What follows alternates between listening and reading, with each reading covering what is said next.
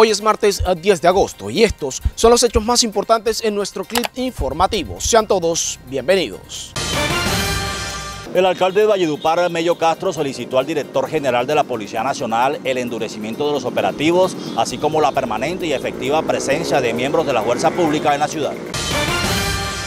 La Contraloría General de la Nación, la Defensoría del Pueblo, la Procuraduría y el Ministerio de Trabajo instalaron una mesa interinstitucional para hacerle seguimiento a la deuda salarial de las EPS con trabajadores del Hospital Rosario Pumarejo de López y del IDRED. Entidades que fueron incluidas dentro del seguimiento permanente para poder revisar las deudas y la cartera que las EPS tienen con estas entidades. Hoy en la Comuna 1 de Valledupar se realizó una brigada integral para niños, niñas y adolescentes con derechos vulnerados y en situación de trabajo infantil. Eh, hemos querido eh, apoyarlos con esta brigada de salud en articulación con el Hospital Eduardo Arredondo.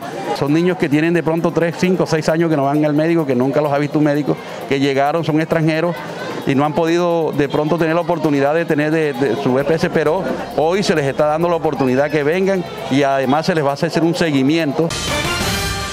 Ante un juzgado con funciones de control de garantías, se realizó la legalización de captura de Olmedo Alberto Polo Mosquera de 20 años por los delitos de tentativa de homicidio y porte ilegal de armas de fuego, sindicado del atentado contra el abogado Germán Chinchilla, quien resultó gravemente herido en un hecho ocurrido el domingo en el barrio Álamos, aquí en Valledupar. En Valledupar la ocupación de camas UCI está en un 60%. Actualmente hay disponibles 93 camas para enfermos de COVID-19. Abrirán 200 cupos para aprender a desarrollar aplicaciones web y trabajar en el mundo tecnológico. ¿De qué se trata? Aquí les contamos. La idea es que aprendan perfectamente cómo se hace un sitio web, una aplicación y que empiecen a formarse en ese mundo eh, de la tecnología.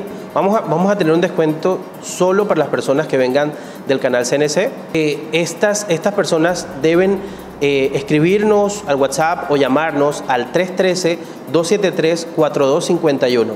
Allí van a tener toda la información.